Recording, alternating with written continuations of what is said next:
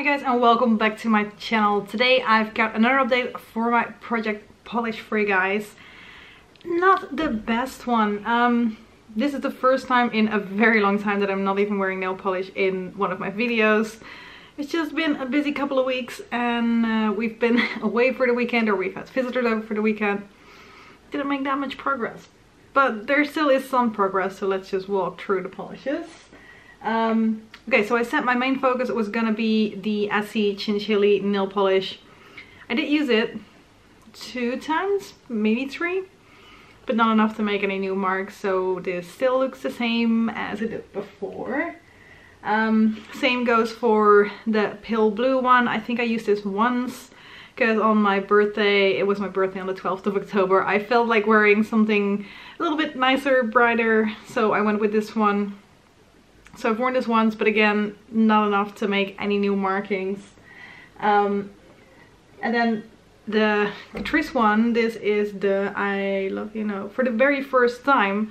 Um, this was not my main focus. I've worn it on my nails once or twice. It's just a really easy one because it's a little bit darker. So after two layers, this will definitely be enough.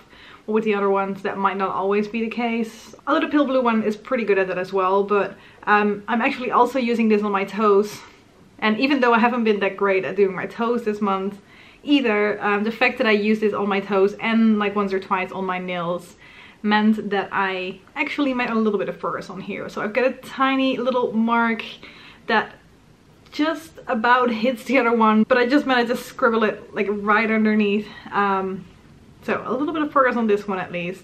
I do really love this one. Um, and then because I also use this one quite a lot in combination with the Catrice one, um, and last time, even though I did use it, there wasn't really any room to mark it.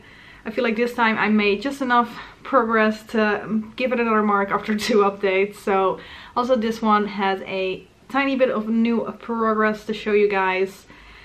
Nothing major and I know this is a very quick and not that interesting of an update, but these things happen as well. Uh, yeah.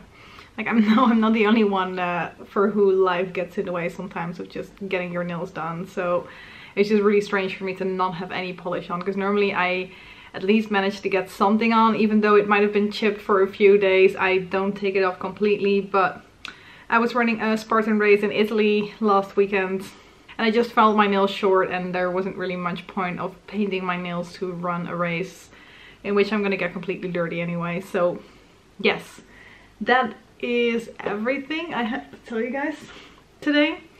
So just to quickly show you guys the polishes in case you have forgotten what they look like. This is Essie Chinchilly, this is the Catrice one for the very first time, and this is uh, Pale Blue from Barry M. I don't know what I'm gonna do because I don't feel like I can really finish any of these in the next two months because we're at the end of October guys. It's only two more months until the end of the year. Um, and this has been in here since the start of the year so I feel like I should still focus on this one and I've told you guys in the last update as well that I'm starting to like this one way more now that it's more fall time and it fits the season more.